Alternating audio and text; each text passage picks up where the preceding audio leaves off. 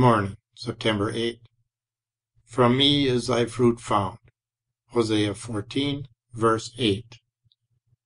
Our fruit is found from our God as to union.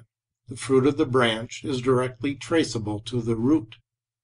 Sever the connection, the branch dies, and no fruit is produced.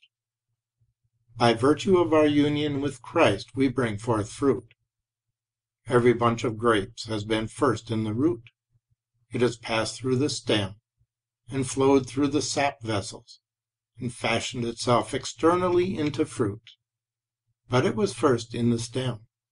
So also every good work was first in Christ, and then is brought forth in us. O Christian, prize this precious union to Christ, for it must be the source of all the fruitfulness which thou canst hope to know. If thou wert not joined to Jesus Christ, thou wouldst be a barren bough indeed.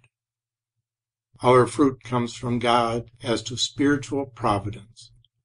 When the dewdrops fall from heaven, when the cloud looks down from on high and is about to distill its liquid treasure, when the bright sun swells the berries of the cluster, each heavenly boon may whisper to the tree and say, From me is thy fruit found.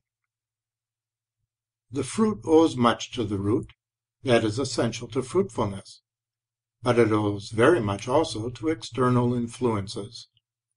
How much we owe to God's grace providence, in which He provides us constantly with quickening, teaching, consolation, strength, or whatever else we want.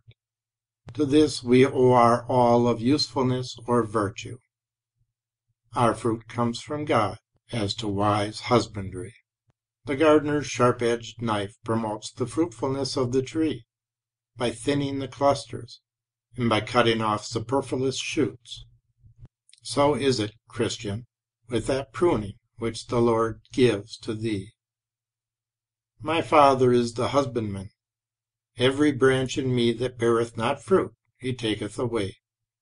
And every branch that beareth fruit, he purgeth it, that it may bring forth more fruit. Since our God is the author of our spiritual graces, let us give to him all the glory of our salvation.